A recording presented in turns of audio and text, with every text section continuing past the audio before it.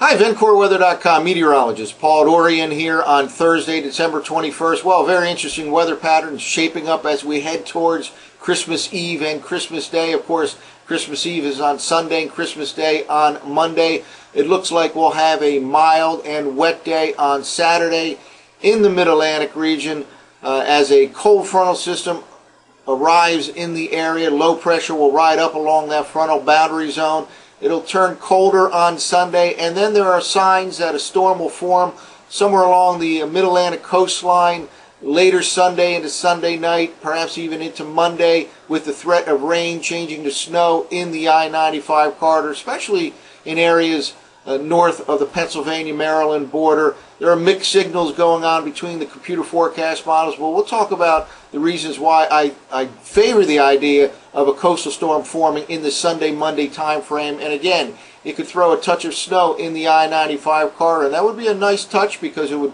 most likely occur in the early morning hours on Christmas morning. First of all, in terms of cyclogenesis, which is just a technical term for storm development, a couple things meteorologists like to look for. First of all, a boundary zone. This is usually in reference to a temperature boundary zone or a frontal boundary zone. It can be humidity boundary zone, sometimes referred to as a dry line. Again, these are the factors involved in whether or not a storm can develop in a particular area. So first and foremost, a boundary zone. Second, and perhaps even uh, as important as the first factor here, is upward motion. Weather forecasters are always looking for areas of upward motion. Uh, that is uh, where you can uh, have cloud formation and ultimately precipitation formation. For example, you can have air simply flowing up a mountainside. That leads to some upward motion. On a summer afternoon, you, the sun will heat the ground. That in turn results in warm air updrafts, which can lead to afternoon clouds or perhaps thunderstorms those first couple of examples are rather small scale. On a more large scale uh, scenario, meteorologists like to focus in on the upper air. Jet streaks, for example, are a prime area where there can be enough upward motion to help create a storm down at the surface level. And indeed, I think that is the scenario setting up here along the uh, mid-Atlantic coastline in the Sunday-Monday time frame. Well, let's kind of start off with a little bit of a meteorology 101 lesson on cyclogenesis.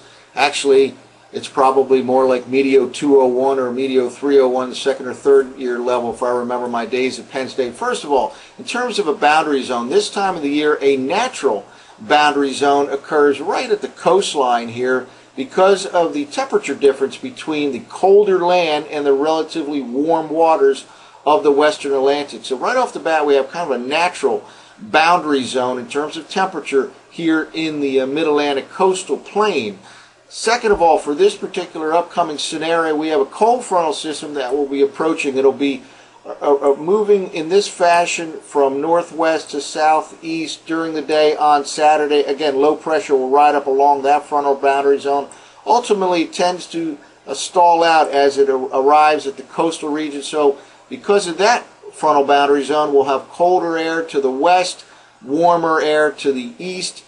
Couple of ways we have certainly a boundary zone. First of all, the natural because of the land versus water feature. And second of all, we have a cold frontal system that will be tending to slow down or even stall out as it arrives near the east coast. Now, let's clear away those lines and get to the upward motion part of this. First of all, a jet stream can be looked at in terms of quadrants.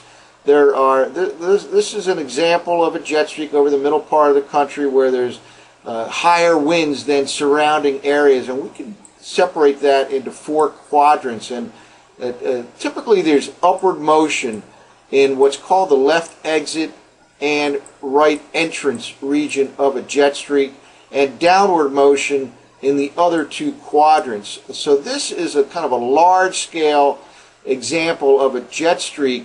Of course, this is moving along in the overall upper level of flow pattern. So it may be over the central U.S. on uh, this particular day and the next day over the mid-Atlantic region. And these upward and downward quadrants will translate along with that jet streak.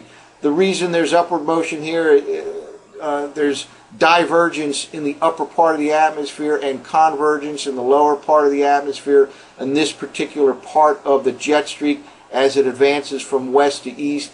And we will indeed have a very impressive looking jet streak in the mid-Atlantic region in the latter part of Sunday, Sunday night, early Monday time frame. And uh, that combined with a boundary zone that's setting up along the east coast, I think favors the idea of cyclogenesis or storm development. Now, in terms of rain versus snow, colder air will come filtering into the I-95 corridor behind the frontal system on Sunday. It doesn't come flooding in as that front tends to stall out near the east coast. It comes filtering in.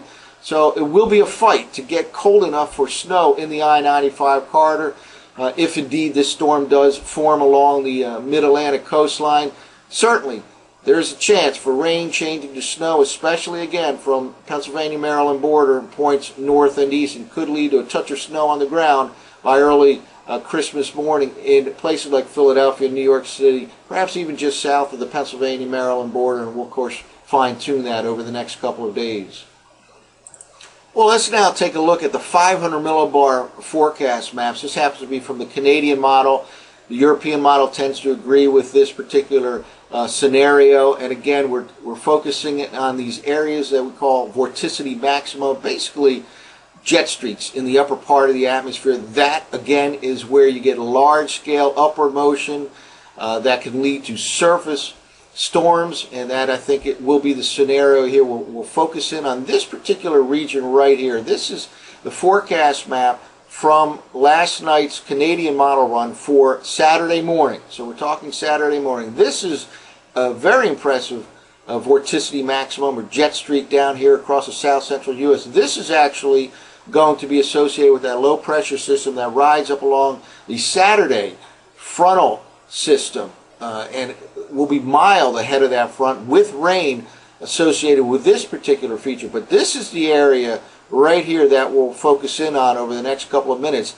And this is uh, the jet streak that can indeed lead to a storm formation along the Mid-Atlantic coastline Sunday into Monday. Let's push ahead in six-hour increments here. These maps available on tropicaltidbits.com.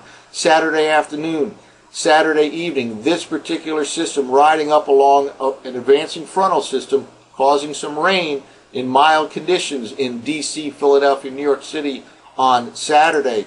Then that frontal system slides through, and here is our next jet streak.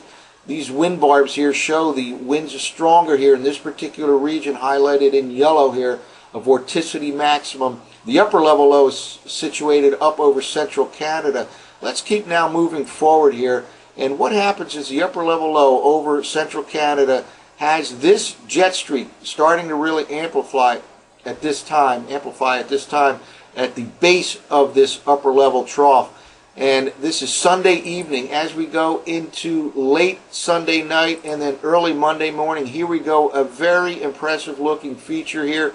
Kind of a negatively tilted orientation to this trough axis. Again, upper level low situated over south central Canada and the trough axis that extends from that upper level low to this vortex tends to orient itself by Monday morning, Christmas morning, in a northwest to southeast fashion, what we call a negatively tilted uh, trough axis. This is that jet streak we pointed to before with upward motion on the left exit side and the right entrance side of this particular jet streak as it interacts with that boundary zone.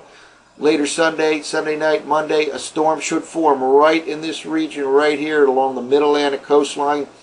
Again, temperatures will be marginally cold for snow. It looks like it'll uh, perhaps be a rain event, changing to snow. Maybe the last stages of, of this event, Sunday night, early Monday, uh, will be in the form of snow, especially Pennsylvania Maryland border on north and east. So again, signs point to cyclogenesis or storm formation along the mid-Atlantic coastline in the Sunday Monday time frame. Colder air starts to filter in on Sunday and it could result in a rain changing to snow scenario. Parts of the I-95 corridor, primarily Pennsylvania Maryland border on north and east, can get a little bit of snow on the ground by Christmas morning. Once this low pressure area uh, moves farther to the north and east up into New England, the cold air, instead of filtering in, will actually pour in to the mid-Atlantic region. That frontal system will be shunted far to the south and east. Cold air comes pouring in later Monday, and by Tuesday and Wednesday, we're in a very cold pattern here. Probably high temperatures at or below freezing in the I-95 corridor by uh, Tuesday and Wednesday of next week. By the way, another snow threat possible at the end of next week. So again, we'll uh, monitor this situation over the next couple of days, but cyclogenesis or storm formation possible along the mid-Atlantic coastline. Signs point to it in terms of, excuse me, the boundary zone and the upper motion associated with this impressive jet streak could lead to a rain changing snow scenario in parts of the I-95 corridor. That's it for now. For VencoreWeather.com, I'm meteorologist Paul Dorian.